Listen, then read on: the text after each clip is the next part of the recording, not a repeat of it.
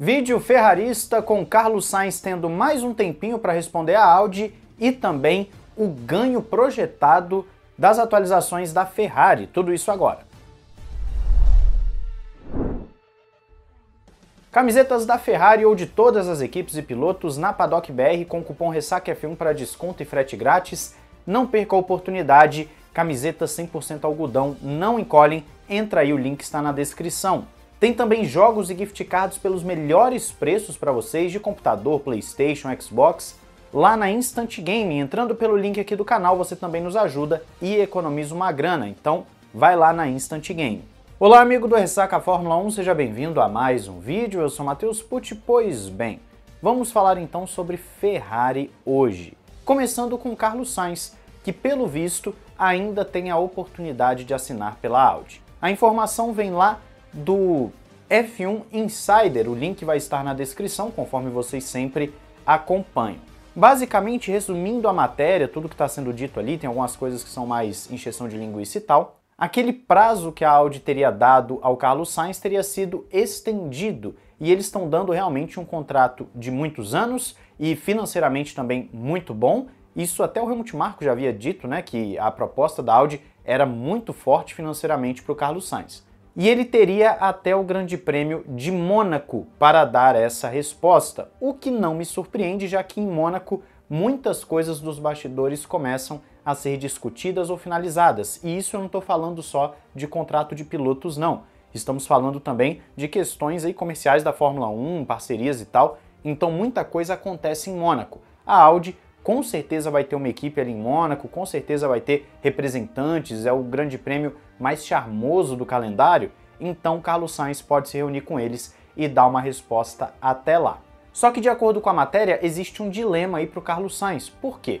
A Audi é um projeto sim arriscado, ele sabe que em 2025 não teria um carro competitivo e em 26 em diante é uma incógnita, ninguém sabe, é um regulamento totalmente novo, só que a Audi tem um agravante de não ter ainda um motor de Fórmula 1 nela não é uma fabricante atual, ela está começando do zero, assim como a Ford Red Bull.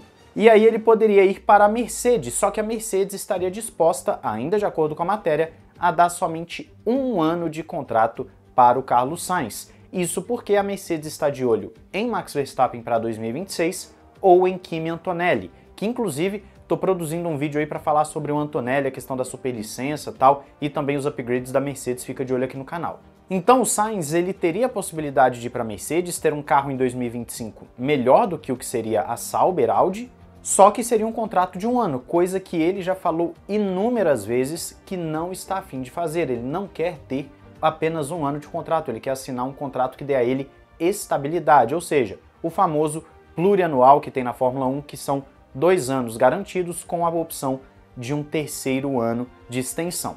E pelo visto também há a possibilidade da Red Bull, conforme temos também conversado aqui nesses últimos tempos, em que ele está esperando uma definição do Pérez ou do Verstappen. O Pérez ainda não está garantido e eu acredito que as próximas provas serão cruciais para o Pérez, já que as outras equipes parecem que estão chegando. E você tem o Verstappen, que fala publicamente que quer ficar na Red Bull, mas o seu pai diz que eles estão sim avaliando outras propostas. O Helmut Marko agora veio, conforme citei também, falar que se for necessário, ele sai da Red Bull para o Verstappen também sair, já que existe uma cláusula contratual em que um depende do outro. Enfim, você tem muitas camadas aí para o Carlos Sainz para ele observar, só que no caso da Audi, ele teria apenas até o Grande Prêmio de Mônaco. Vamos acompanhar, vamos ver, tudo é um rumor por enquanto, não tem nada confirmado. A única coisa que nós sabemos efetivamente é que a Audi já deu mesmo uma proposta pelo Sainz, isso é certeza, isso é confirmado. Me diz aí, qual que você acha que seria a melhor opção para o Carlos Sainz? Red Bull? Mercedes? Audi? Fala aí nos comentários.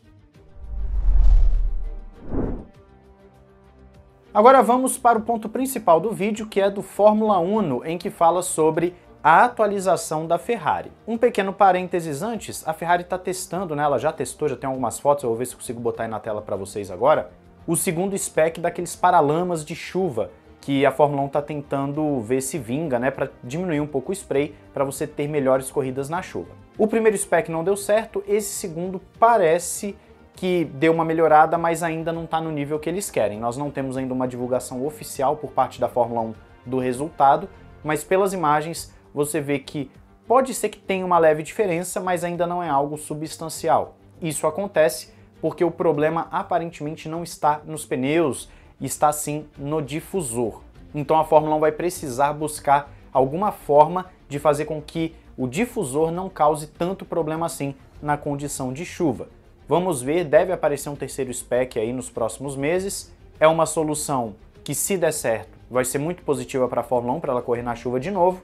E testes são para isso, para justamente verificar quais são os problemas e você ir aprimorando. Eu espero que a Fórmula 1 consiga chegar num ponto interessante em breve. Mas voltando para a atualização da Ferrari, ela deve efetivamente colocar na pista a atualização amanhã. Hoje teria sido para esse teste mais geral do Paralamas. Inclusive a pista foi molhada artificialmente, né? Não teve chuva efetivamente. Mas em relação às atualizações da Ferrari, é aí que o negócio fica interessante. Isso porque, de acordo com a matéria que você confere aí na descrição, está sendo dito que o pacote da Ferrari terá um ganho parecido ou talvez até melhor do que o da McLaren. E qual foi o ganho da McLaren? 4 décimos. Se isso for verdade, vai acontecer aquilo que eu estava citando para vocês o que? Ontem ou anteontem, acredito que tenha sido ontem. A Ferrari precisa dar um grande salto e precisa torcer para a Red Bull não dar um salto equivalente. Então, se a Ferrari conseguir um salto de 4 décimos, a Red Bull precisa dar um salto de no máximo 2 décimos para então a Ferrari encostar bem, andar à frente do Pérez com consistência e começar a incomodar bastante o Verstappen nas corridas.